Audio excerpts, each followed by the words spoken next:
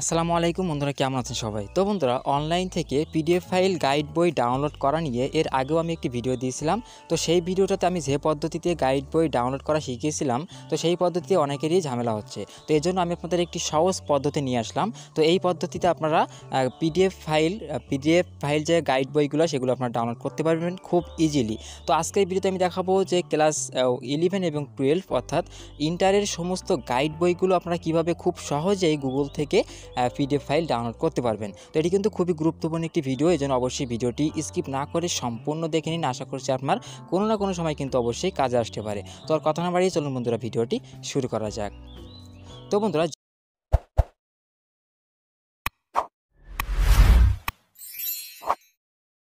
যেমনটি বললাম যে গুগল থেকে কীভাবে আপনারা খুব সহজেই পিডিএফ ফাইল বই ডাউনলোড করবেন গাইড বই এবং আজকের ভিডিওতে আমি দেখাবো যে ইন্টারের সমস্ত গাইড বইগুলো কীভাবে ডাউনলোড করবেন। তো তার জন্য আপনাদের প্রথমে যেতে হবে গুগলের ভিতরে, প্রত্যেক, প্রত্যেকটা অ্যান্ড্রয়েড ফোনে কিন্তু গুগল অপশানটা থাকে।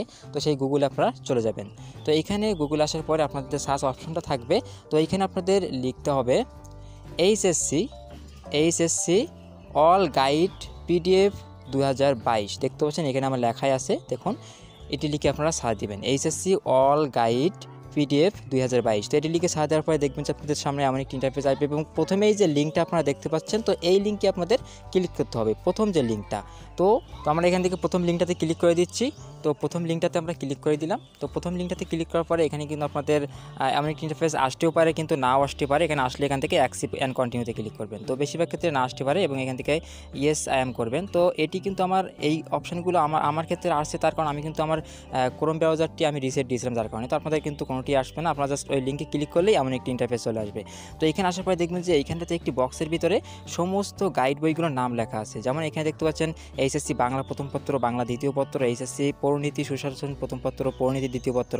তো এইভাবে আপনাদের সমস্ত বইগুলো এখানে কিন্তু শো করবে। তো এখান থেকে আপনাদের যে বইটি প্রয়োজন, তো সেই বইটা নামের উপরে ক্লিক করবেন। যেমন এখান থেকে আমি যদি বাংলা বাংলা দ্বিতীয় পত্রের উপরে ক্লিক করে দেই, তো আমাদের, ধরুন আমার বাংলা দ্বিতীয় পত্রটি প্রয়োজন, তো বাংলা দ্বিতীয় পত্রের উপরে ক্লিক করে দিলাম।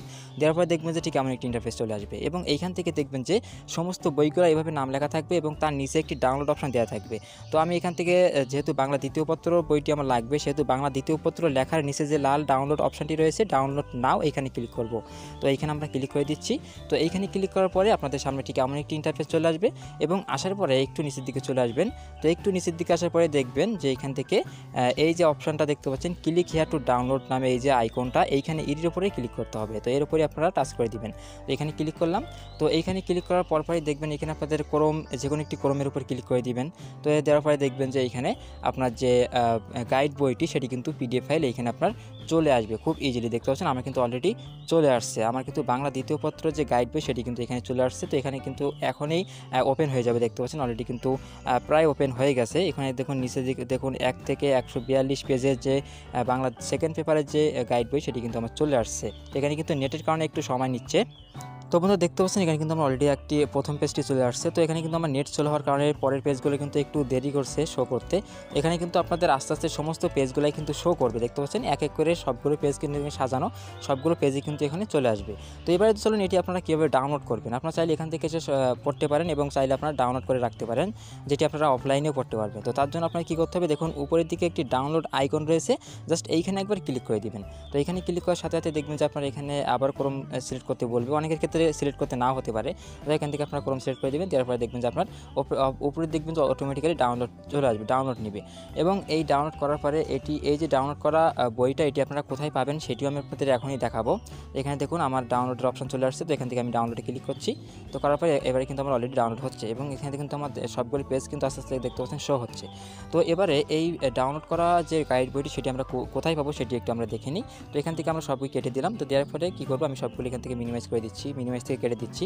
দেওয়ার পরে এখানে দেখতে পাচ্ছেন আমার ডাউনলোড করা যে গাইড বইটি সেটি আমার পেতে হলে যেতে হবে আমার প্রথমেই ক্রোমের ভিতরে। তো ক্রোমে আসার পরে দেখবেন যে একটি থ্রি ডট আইকন থাকবে উপরে কর্নারে সেই থ্রি ডটে ক্লিক করবেন। করার পরে দেখবেন যে এখানে ডাউনলোড নামে একটি অপশন থাকবে, সেই ডাউনলোড ক্লিক করবেন। তো ডাউনলোডে ক্লিক করার পরে দেখতে পাচ্ছেন এখানে কিন্তু আমার সেই বাংলা সেকেন্ড পেপারের যে গাইড বইটি এটি কিন্তু আমার অলরেডি ডাউনলোড প্রায় শেষ। দেখতে পাচ্ছেন আমার কিন্তু ডাউনলোড অলরেডি এখন শেষ হয়ে গেছে। এখন যদি আমি এখানে ক্লিক করি, তাহলে কিন্তু আমার সেই গাইড বইটি সেটি কিন্তু আমি এখানে খুব সহজেই পড়তে পারব। এখানে কিন্তু আমার চলে আসলো। দেখতে পাচ্ছেন আমার কিন্তু চলে আসলো। এখান থেকে কিন্তু সবগুলো বই সিরিয়ালি আমার সাজানো আছে, এখান থেকে আমরা চাইলে পড়তে পারব। এটি কিন্তু আমরা অফলাইনেও আমরা কিন্তু এখান থেকে অফলাইনেও পড়তে পারব। তো আশা করছি আপনারা বুঝতে পারছেন, তো আপনারা কিন্তু খুব সহজেই এভাবে ইন্টারের সমস্ত বইগুলো সেম প্রসেসে আপনারা ডাউনলোড করে পড়তে পারবেন। আশা করছি আপনাদের ভিডিওটি অনেক উপকার আসবে। যদি আপনাদের ভিডিওটি ভালো লেগে থাকে, তাহলে অবশ্যই- আজকের ভিডিওটিতে একটি লাইক দিবেন। তো ধন্যবাদ বন্ধুরা ভিডিওটি দেখার জন্য। তো দেখা হবে পরবর্তী কোনো ভিডিওতে। ততক্ষণ ভালো থাকবেন, সুস্থ থাকবেন। ধন্যবাদ।